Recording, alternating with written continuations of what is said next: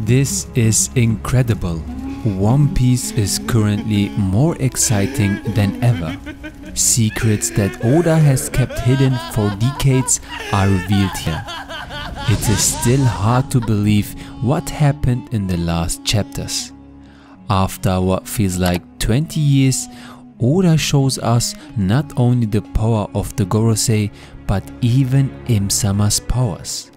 However, the powers are different from the usual ones we know from One Piece, because all transform unusually creepy and mysterious in a by shadowed coward beings.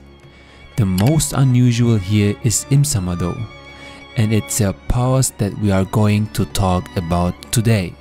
So if you like the video and want to support me, then leave a like and subscribe me. This channel is a new channel so it would help me out a lot. Thank you very much. What can be said directly, the well-known Im-sama has the water fruit theory is now nearly impossible to be true. Now that we have seen that he can perform a transformation, we can assume that he has a Zoan fruit. If it were an elemental devil fruit, he would obviously attack with that element and not become a monster. Exactly the same here for Paramecia. And even if it doesn't seem like it, these are some information we can do a lot with. For this reason, 95% of the One Piece community directly assumed that Im-sama has a mythical Zoan. But before I elaborate on this sword, I would like to mention that there is one option we must not forget. The transformation is not a devil fruit power, but its true form. Many leave this option out of sight, which I honestly cannot understand. What I mean by this is that Im-sama may not be a human anyway. Even her normal form seems very unusual and only slightly human. It's similar to what happened with King back then. Everyone initially assumed that the flames and his wings definitely come from his devil fruit, which is understandable because you can't know that such a race exists and it could be similar here with Im-sama. What if she is not from Earth at all? We know that there are several planets and sometime in the story they must play a role. When and where else if not right now?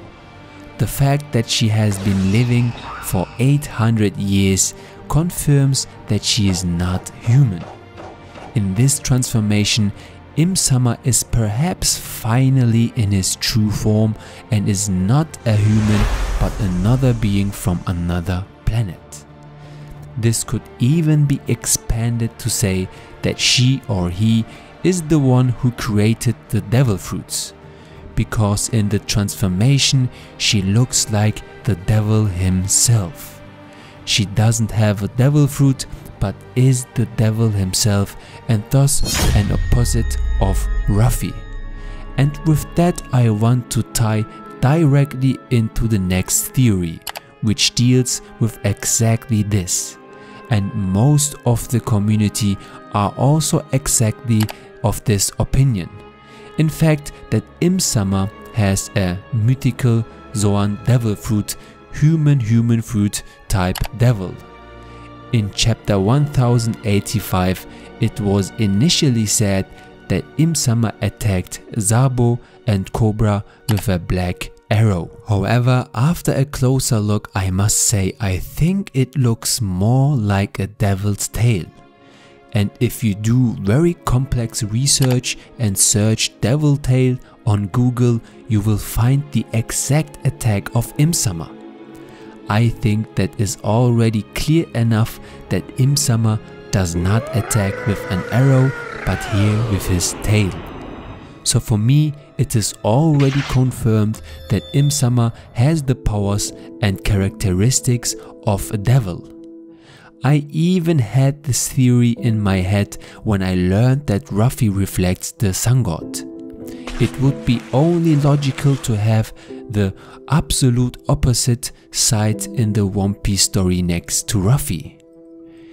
Here you can also tie the powers of the Gorosei, but I want to make an even more detailed video about that, so subscribe to this channel and don't miss the upcoming videos. A thought I want to talk about is Im Sama's devil fruit must definitely be equal to the ability of Ruffy, if not even superior. And there's one thing we have to take in consideration the ability to do anything you want. We have seen what an impact Ruffy can have on the environment with his devil fruit. He can, just by imagining it, turn the ground into rubber and change Kaido's nature as well. Even other characters like Kid and Law suddenly got cartoonish eyes around him. Why wouldn't Im-sama be able to do that either? Maybe it is Im-sama who has brought the Gorosei into this form. The fact that they all put out a weapon to fight first shows that they are not actually devil fruit fighters. Only when Im-sama transforms, the Gorosei also transformed. For me, this is an indication that possibly Im-sama is the one who can control his environment. Question would be then naturally, why only did the Gorosei change and not the whole surrounding field? So either Im-sama can control what she has an influence on or the Gorosei have their own powers. But more about this in another video, so subscribe the channel to don't miss that and let's be friends.